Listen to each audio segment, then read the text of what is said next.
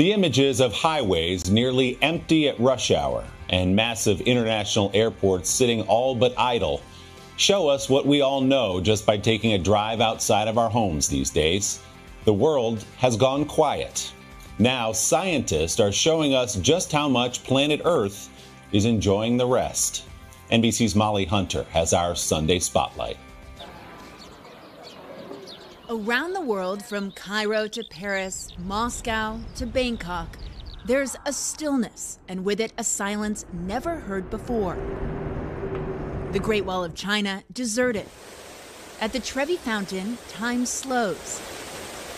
No coin tossing, no chatter. None of the racket, the cacophonous rhythm of our pre coronavirus lives. No crowds, no traffic, no trains.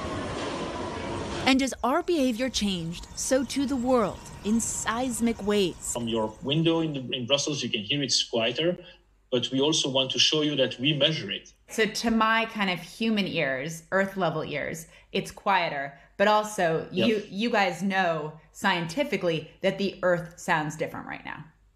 Yes, exactly. Thomas Lecocq, a seismologist in Brussels, noticed immediately when the human hum took a dive. From the very first day of the lockdown, this energy dropped dramatically, like 30, 35%.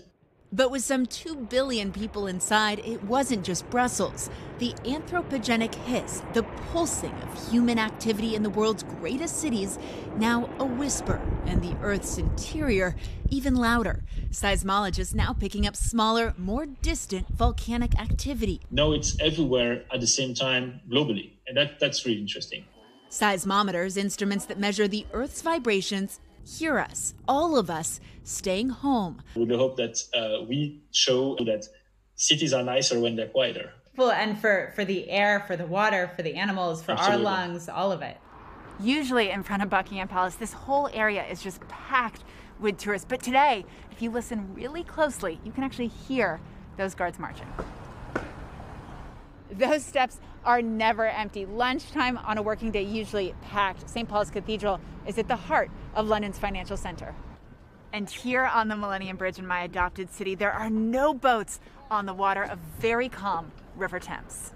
Many of these new sounds being mapped and listened to by Stuart Fowkes. He's creating a global sound bank, 4,000 submissions from 100 countries, an oral legacy from the age of coronavirus. The first was around um, sounds of nature, so people saying, oh, this is amazing.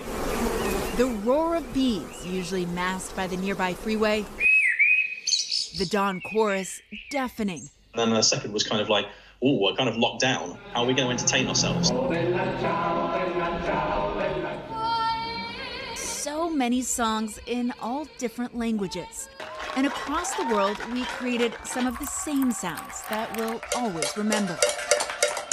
Thank you, guys. Thank you. Mixed in, there are old sounds too, centuries old, now louder. Bells that toll for the dead in Spain, but also bells that speak hope from the Vatican. This morning, you have the time to just listen. For Sunday Today, Molly Hunter, NBC News, London.